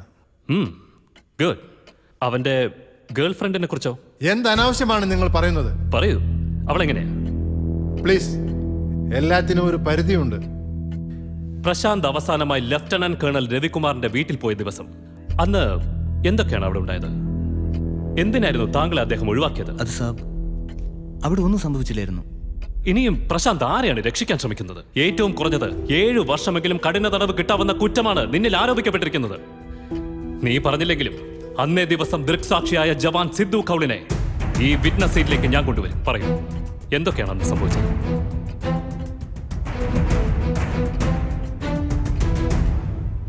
പപ്പാജി! ഇത് നടക്കുമെന്ന് ഒരിക്കലും കരുതണ്ട. ഞാൻ ജീവിച്ചിരിപ്പുണ്ടെങ്കിൽ ഇത് നടക്കില്ല. പക്ഷേ ഞാൻ ജീവിച്ചിരിപ്പുണ്ട് ഇത് നടന്നിരിക്കും. അത്രക്കായോ മകനാണെന്നും ഞാൻ നോക്കില്ല. കൊന്നു കളയും ഞാൻ. വിട്. എനിക്കത് സഹായം വേണ്ട അനുവാദം വേണ്ട. വിടാൻ. മോനെ ബഹളം വെക്കല്ലേ? നീ ഇപ്പൊ പോ. മാറി നീ വീട് വിട്ടു പോകുന്ന എനിക്കൊന്ന് കാണണം.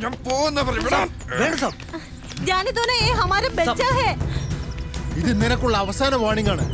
എന്നെ അപമാനിക്കാൻ ശ്രമിച്ചാൽ ഒരച്ഛനെന്ന സെന്റിമെന്റ്സ് ഞാനങ്ങ് മറക്കും. എല്ലാം നശിപ്പിച്ചില്ലേ? കൊന്നുകളയാ വേണ്ടത്. എന്റെ പദവി അന്തസ് ആർമിയിൽ എനിക്ക് ലഭിക്കുന്ന മാന്യത. ഇതെല്ലാം തകർത്ത് നിനക്ക് നിന്റെ ഇഷ്ടം നടത്താനാണ് ഭാവമെങ്കിൽ നമ്മളിൽ ഒരാൾ മാത്രമേ ജീവിച്ചിരിപ്പുണ്ടാവൂ. ഓർമ്മിച്ചോ?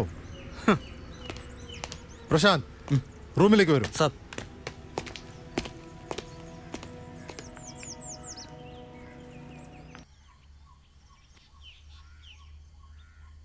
നീ എന്നെ ചതിച്ചല്ലടാ. നിനക്കെല്ലാം അറിയാമായിരുന്നു. എല്ലാം മുമ്പ് തന്നെ എന്നോട് പറഞ്ഞിരുന്നെങ്കിൽ ഇങ്ങനെയൊന്നും സംഭവിക്കില്ലായിരുന്നു. സബ് ഞാൻ അറിഞ്ഞത് തന്നെ ഈ അടുത്ത ദിവസമാണ്. പക്ഷേ അപ്പോഴേക്കും എല്ലാം ഞാനത് വിശ്വസിക്കുന്നില്ല. അവനെല്ലാം നിന്നോട് പറയാതിരിക്കില്ല. എന്നെ ചതിക്കാൻ കൂട്ടുന്ന നീ ഇനി സുഖിച്ച ആർമിയിൽ ഉണ്ടാവില്ല. സബ് എന്നെ വിശ്വസിക്കണം.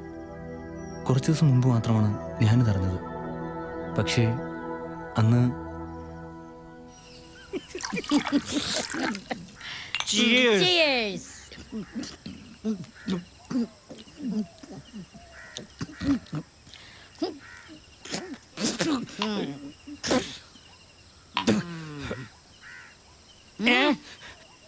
Okay okay okay എന്തോന്നാറ് ചോദിക്കട്ടെ. എന്നോടാണോ? അവളോട് ചോദിക്കട്ടെ. ഒരെണ്ണം. എന്താ? ഒരെണ്ണം വേണ്ട. എന്റെ മോനെ എത്ര വേണേലും അടിച്ചോ. അടിച്ചോ? അടിച്ചോ? ഉം, മതി.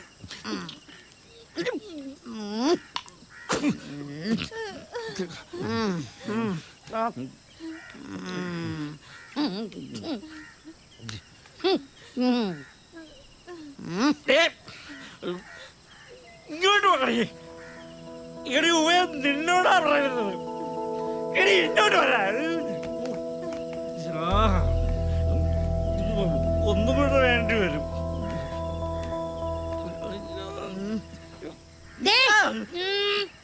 നിന്നോടല്ലടി പറഞ്ഞത്. വിടണ്ട വികലാംഗ മോനെ ഇനി കുടിക്കണ്ട.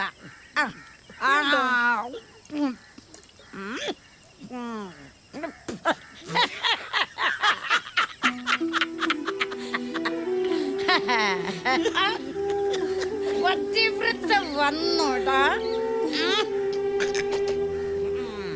എന്താടി ഒരു വീണവ എന്ന ഇങ്ങോട്ട് വാടി. ഇപ്പൊ പോണം അവന്റെ വീട്ടിലോട്ട്. കേട്ടല്ലോടി നിന്റെ പ്രസവം നോക്കാനൊന്നും എന്നെ കൊണ്ട് പറ്റില്ല. ഇല്ല ഞാൻ പോവില്ല. തന്റെ അറിയാന്നറിയാത്ത കൊച്ചിനെ ഇവിടെ പേറ്റിടാന്ന് കഴിച്ചു ഇറക്കി.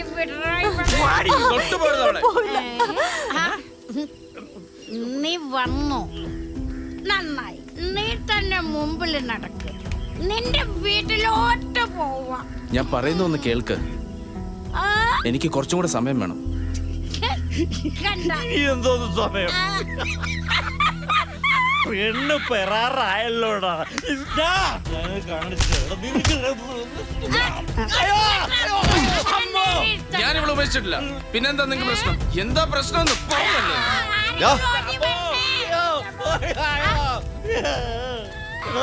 നീ നീ ഇവിടെ നിന്നൊരു പോത്തില്ല. നിന്റെ തന്ത വന്ന് ദാ ഇവിടെയും കൂട്ടിയേ പോത്തോളൂ. കേട്ടോ? ഓ. നാട്ടിൽ ആണുങ്ങളില്ലെന്ന് വരുത്തിയോ ഇതിനൊരു തീരുമാനം ഉണ്ടാക്കിയിട്ട് പോയാ മതി നീ. വിളിക്കണം നിന്റെ തന്തൻ. പേടിക്കണ്ട. ഞാൻ ആരോടും പറയില്ല. ഞാൻ ഇപ്പൊ അവിടെ എത്താം. Okay cool.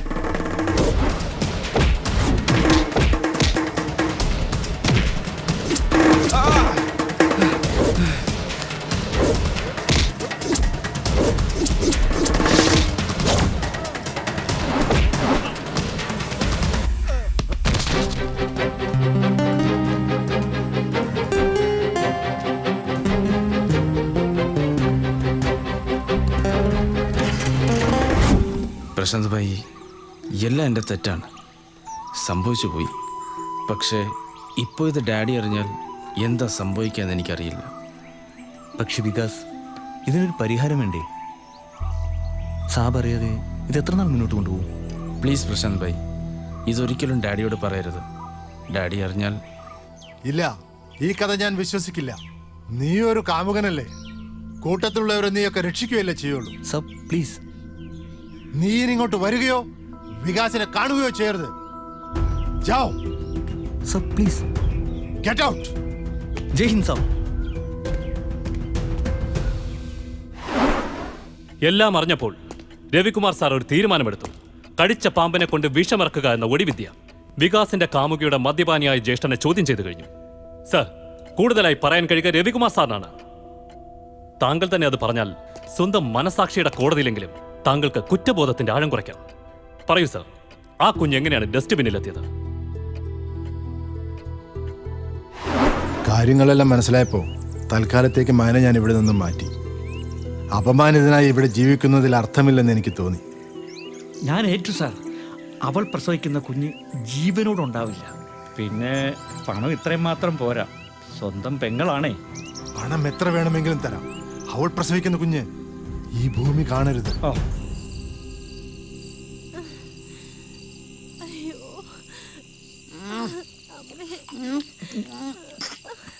ഓ നാശം. ഒരാശുപത്രിയിലും പോണ്ട. ഇന്നത്തോടെ ഈ പൊല്ലാപ്പം കിട്ടിയത്. കുഞ്ഞിനെ നീ എങ്ങനെ കൊല്ലാനാ ദേ തീരുമാനിച്ചത് നിങ്ങൾ ആവശ്യമില്ലാത്ത കാര്യങ്ങൾ അന്വേഷിക്കുന്നത്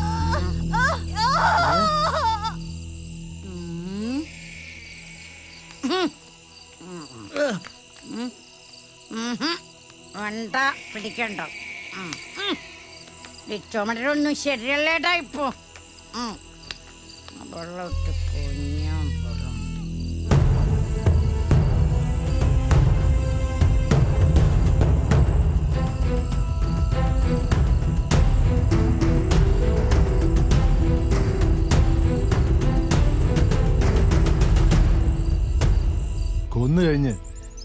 ഇതിൽ പൊതിഞ്ഞു വേണം ഉപേക്ഷിക്കാൻ.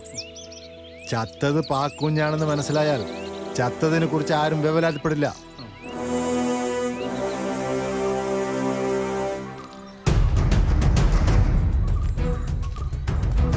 നാശം പിടിച്ച് ഇവിടെ ഉറങ്ങാൻ കാത്ത. നേരവും എടുത്ത്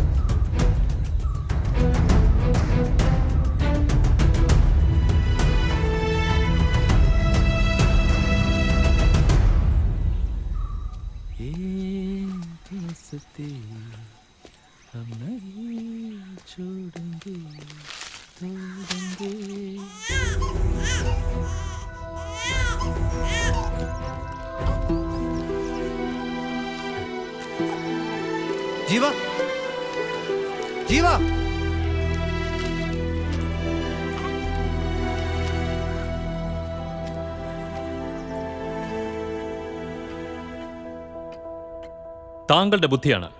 ചില രേഖകൾ പ്രശാന്തിന്റെ ടെന്റിൽ നിന്നും പിടിച്ചെടുത്തതിന് പിന്നിലും. ആമ റൈറ്റ് സർ ദുരഭിമാന കൊലകൾ ധാരാളം നടക്കുന്ന നാടാണ് നമ്മുടെ ഭാരതം. സ്വന്തം മകന്റെ രക്തത്തിൽ പിറന്ന കുഞ്ഞ്. നാളെ താങ്കളെ മുത്തച്ഛ എന്ന് വിളിക്കേണ്ട കുഞ്ഞ്. ആ കുഞ്ഞിനെയാണ് താങ്കൾ കൊല്ലുവാൻ ശ്രമിച്ചത്. ഒന്നും അറിയാതെ പിറന്നു വീണ ആ ചോര കുഞ്ഞിനെ ശിക്ഷിക്കുവാൻ മാത്രം ദയയില്ലാത്ത മനുഷ്യനാണ് താങ്കൾ. ഭാരതം അബോഷനുകളുടെ നാടാണ്. ഒരു പെൺകുഞ്ഞ് ജനിച്ചാൽ അല്ലെങ്കിൽ തങ്ങളുടെ പ്ലാനിംഗ് ഒന്ന് തെറ്റി ജനിച്ചു പോയാൽ ഏറ്റവും സുരക്ഷിതമെന്ന് നമ്മൾ പറയുന്ന അമ്മയുടെ ഗർഭപാത്രത്തിനുള്ളിൽ വെച്ച് തന്നെ കുഞ്ഞുങ്ങളെ കൊന്നുകളയുന്നവരുടെ നാട്. അവിടെയാണ് സർ ഈ നായ് കാർമിയുടെ അഭിമാനമാകുന്നത്. സ്വന്തം ജീവിതം മറന്ന് ഈ പ്രശാന്ത് രക്ഷിക്കാൻ ശ്രമിച്ചത് തനിക്ക് ആരുമല്ലാത്ത ഒരു കുഞ്ഞു ജീവനെയാണ് സർ. സർ ഒരു മെസ്സേജ് ഉണ്ട് ഓക്കെ കൊണ്ടുവരും.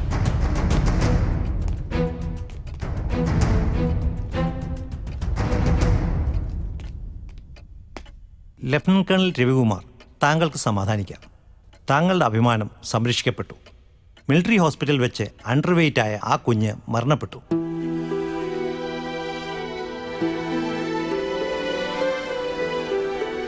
ലഫ്റ്റനന്റ് കേണൽ രവികുമാറിനെതിരെ കൂടുതൽ കോർട്ട് ഓഫ് എൻക്വയറിക്ക് ഈ കോടതി ഉത്തരവിടുന്നു. കൂടാതെ നായിക് പ്രശാന്തിന്റെ വിധിയും ഇവിടെ പ്രസ്താവിക്കുന്നു. Major Belwinder what's your opinion? Sir I recommend minor punishment. What about you major Swamy? Sir I recommend major punishment. Okay my casting vote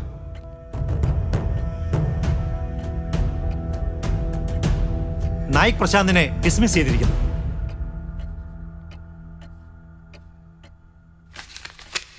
എന്തിനു വേണ്ടിയായാലും അസത്യം കൊണ്ട് ആർമിയെ തെറ്റിദ്ധരിപ്പിക്കുക എന്നത് തെറ്റ് തന്നെയാണ് അതുകൊണ്ട് നായിക് പ്രശാന്തിനെ ആർമിയിൽ നിന്നും തിരിച്ചയക്കുവാൻ ഈ കോടതി ഉത്തരവിടുന്നു. To make the army misunderstand is a crime nevertheless of whatever the reason is. Hence, Naik Prashant is reduced to rank and dismissed from service.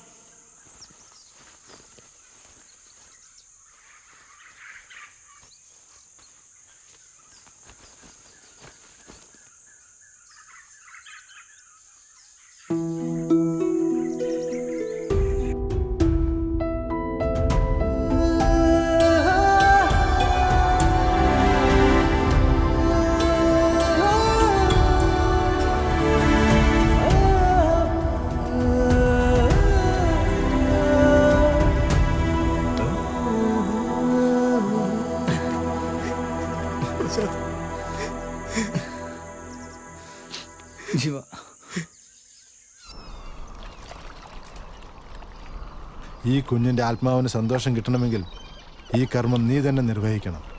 അതിനുള്ള അർഹതയും നിനക്ക് മാത്രമാണുള്ളത്. ആർമിയുടെ യൂണിഫോം ഇല്ലെങ്കിലും നീ ഒരു യഥാർത്ഥ പട്ടാളക്കാരനാണ്. എന്റെ ഹൃദയം കൊണ്ട് ഒരായിരം വട്ടം നിന്നെ ഞാൻ സല്യൂട്ട് ചെയ്യുന്നു.